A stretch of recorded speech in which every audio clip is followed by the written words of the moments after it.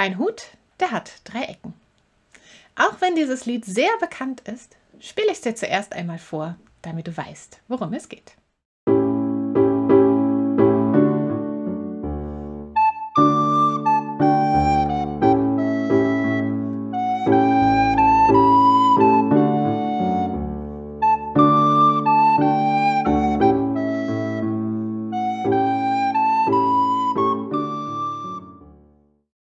Mein Hut, der hat drei Ecken, steht in einem Sechs-Achteltakt. Das heißt, in jedem Takt gibt es sechs Achtelschläge. Und diese sechs Achtelschläge sind aufgeteilt in drei plus drei. Wir haben also zwei große Schläge in jedem Takt. Eins, zwei, drei, vier, fünf, sechs. Eins, zwei, drei, vier, fünf, sechs. Und jeder dieser großen Schläge hat drei Achtelschläge, ist also so lang wie eine punktierte Viertel. Wir sprechen jetzt mal zu Anfang rhythmisch den Text und dabei können wir uns ruhig so ein bisschen schaukelnd hin und her bewegen. Und unsere Schaukelbewegungen sind immer so lang wie ein so ein Großschlag pro Takt, also drei Achtelschläge lang. Und wir fangen auf einer 6 an. Denn es gibt ja ein Achtelschlag Auftakt, das ist dann der letzte Schlag in dem Takt, also die 6. Ich zähle 1, 2, 3, 4, 5 vor und auf der 6 fangen wir an zu sprechen. 1, 2, 3, 4, 5. Mein Hut, der hat drei Ecken. Drei Ecken hat mein Hut. Und hätt er nicht drei Ecken, dann wär er nicht mein Hut. Und dann wird es theoretisch wieder von vorne losgehen. Jetzt spielen wir es einmal. Ganz langsam, aber direkt das ganze Stück. Denn es ist nicht so schwer, es gibt nicht so viele komplizierte Griffverbindungen mit da drin. Deshalb spielen wir gleich das Ganze, aber langsam. Und dazu hören wir auch eine Klavierbegleitung.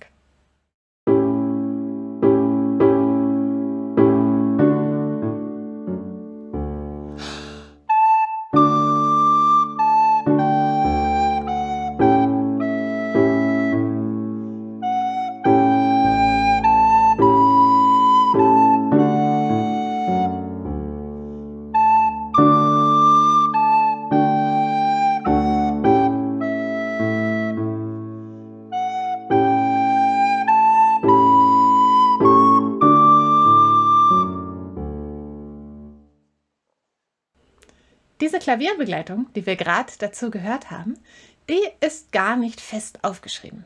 Die besteht wieder nur aus den Akkordsymbolen über den Noten und wie man es dann letztendlich umsetzt, auf dem Klavier, auf einer Gitarre oder worauf auch immer, das ist jedem selber überlassen. Jetzt spielen wir es ein kleines bisschen schneller, wieder mit Klavierbegleitung und kurzem Klaviervorspielen.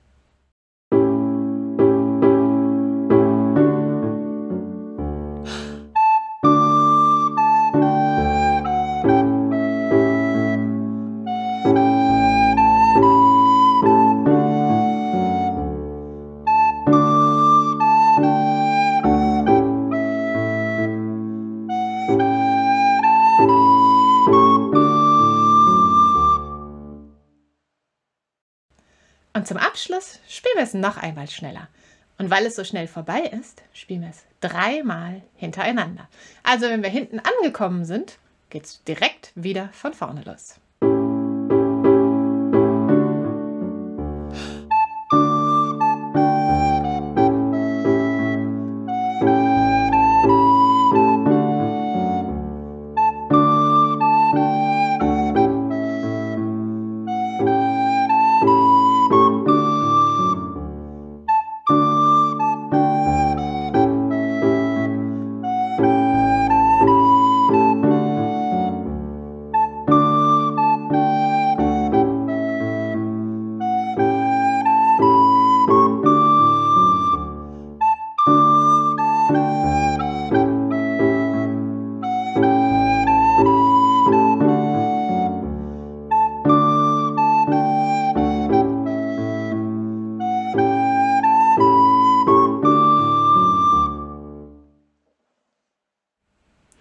Wenn man es singt, dann ist ja der Witz dabei, dass man nicht mehr alles singt, sondern dass man einzelne Wörter einfach durch Bewegungen ersetzt. Zum Beispiel Hut oder drei oder Ecken oder nicht. Das können wir natürlich so jetzt hier beim Blockflöte-Spiel nicht machen. Das heißt, wir können keine Bewegung machen.